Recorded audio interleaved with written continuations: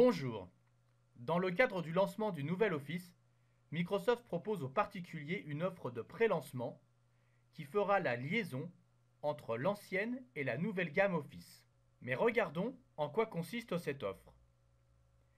C'est très simple.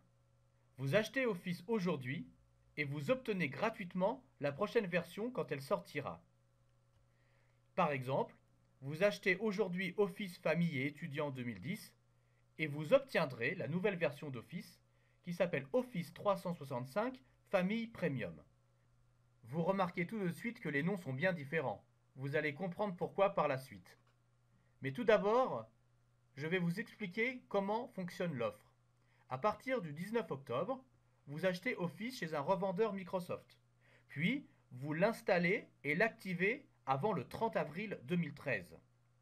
Vous vous enregistrez ensuite sur notre site office.com offer afin d'être averti quand le nouvel Office sera disponible.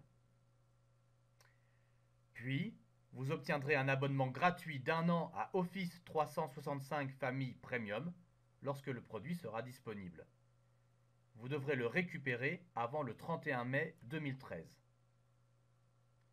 Mais regardons de plus près ce que contient Office 365 Famille Premium. C'est un abonnement annuel pour toute la famille. Tout d'abord, il contient tous les logiciels Office, OneNote, Outlook, Word, Excel, PowerPoint, Access et Publisher. Mais il contient aussi d'autres services.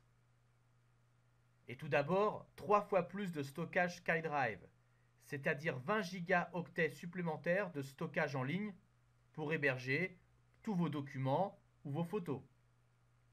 Mais c'est aussi 60 minutes par mois d'appels Skype à l'international sur des téléphones fixes ou mobiles.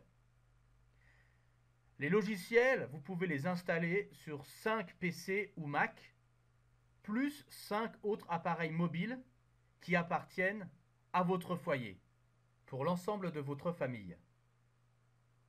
Enfin, nous disons premium, car si les logiciels et services évoluent au cours de votre abonnement, vous obtiendrez les mises à jour.